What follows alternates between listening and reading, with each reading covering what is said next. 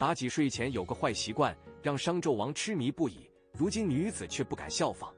点个订阅不迷路，让我为您解说历史故事。当我们提到苏妲己，大多数人会立刻想到一个祸国殃民的狐狸精形象。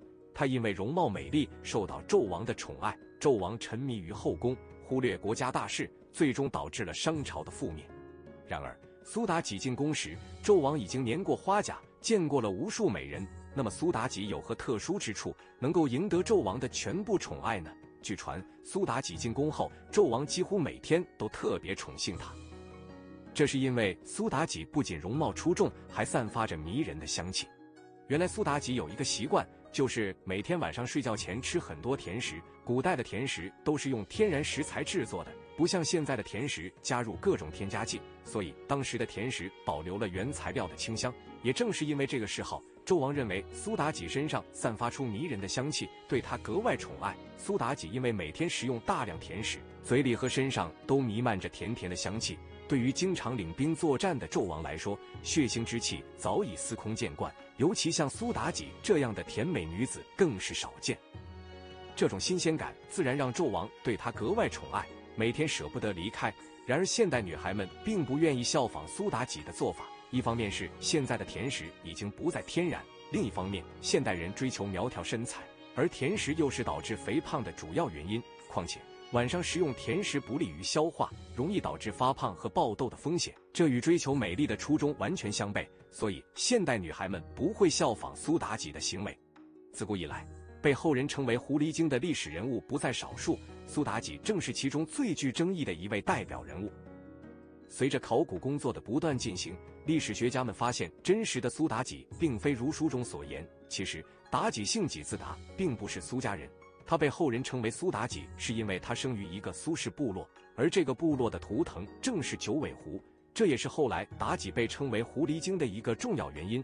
当年的纣王帝辛能征善战，一路杀到苏氏部落时，部落首领为了保住小命，不得不向纣王献进金银珠宝和妙龄女子，妲己便是其中一位。妲己并非一个毫无野心的女子，她深知纣王沉迷于肉欲的弱点。她知道纣王对她的宠爱已经超越了国家的利益，政务因此被搁置一旁。于是她利用纣王对她的迷恋，将其引导至纵欲淫乐的境地。纣王沉湎于妲己的美色和放纵的生活中，逐渐丧失了明君的风度和智慧，政务的荒废和朝廷的堕落成为了不可避免的结局。然而，这并不是妲己单方面所致，它只是纣王沉溺的一种催化剂。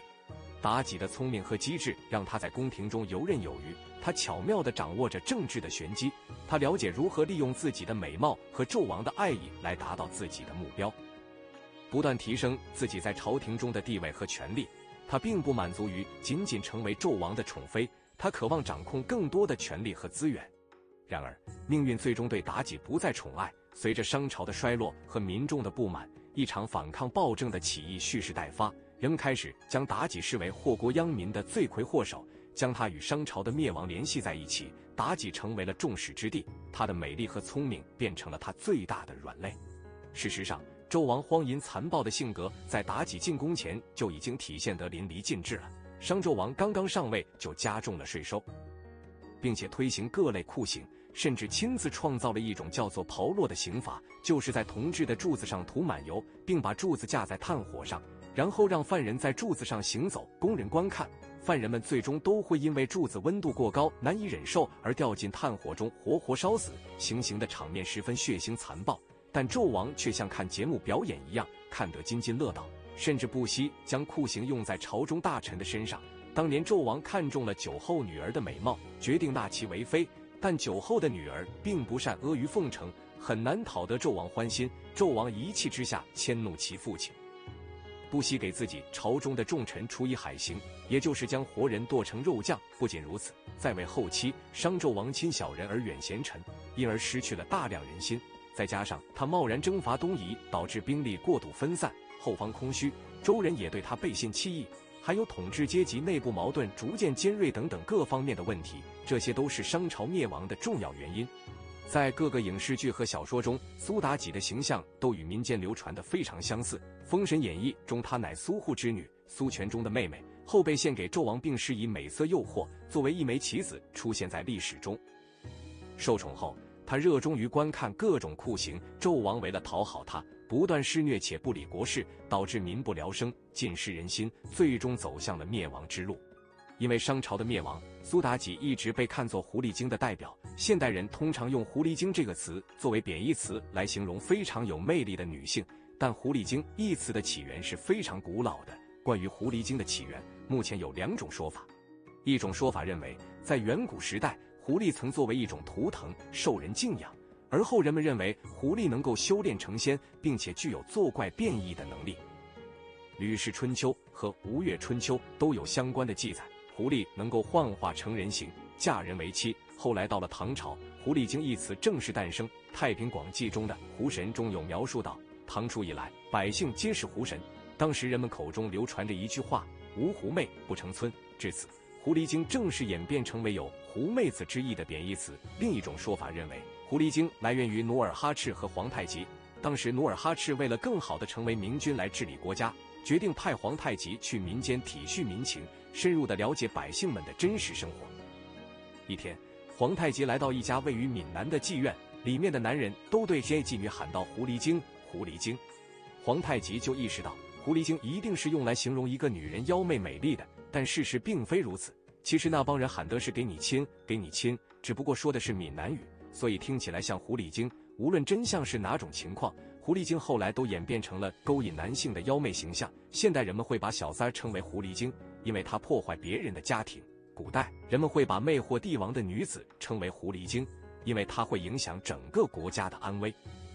纵观历史，有许多统治者为了美人而荒废政务，沉迷肉欲，最终导致国家的衰败和自身的覆灭。他们或许爱美人胜过爱江山，被红颜所迷，无法自拔。然而，爱情对于他们来说，可能是一种病态的情感，超越了正常的范畴，成为了一种致命的诱惑。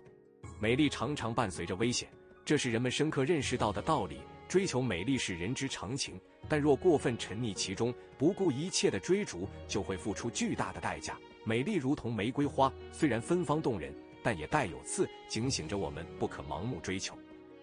因此，对美的追求应该有度，要学会掌握自己的情感和欲望，不被其左右。只有在理智和责任的指引下，美与爱情才能真正成为一种益处，而非祸水。关于妲己和纣王的故事，给了我们不少启发。不管是历史传说还是影视剧，都不一定能还原真实的历史。观众们要有自己的思考，辩证看待历史人物的形象。褒姒、苏妲己等那些在历史上被称为妖孽的女子。或许只是一些普通的在乱世中挣扎的悲惨女人，只因涉入帝王家而背负千古骂名，作为看客。我们要时刻保持理智和清醒，不要被刻板影响所误导。作为女人，更要时刻爱惜自己，保护自己，科学饮食，不为讨好他人或追求潮流而误导自己。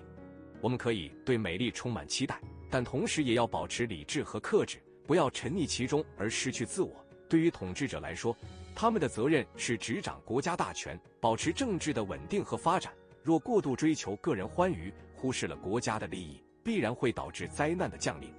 妲己确实是个蛇蝎女人，但是有些事情不是妲己所为，像剖腹验胎、断腿验髓，都是子虚乌有的。武王姬发纣成功以后，将商朝灭亡的罪责归于妲己，并将她处死，对妲己来说也是冤枉，因为罪魁祸首是纣王。如果妲己不对纣王献媚，他可能活不到商朝灭亡就早死了。或许我们不要用小说中的描写来看妲己，应该尊重历史，从正史当中寻找历史人物的真相。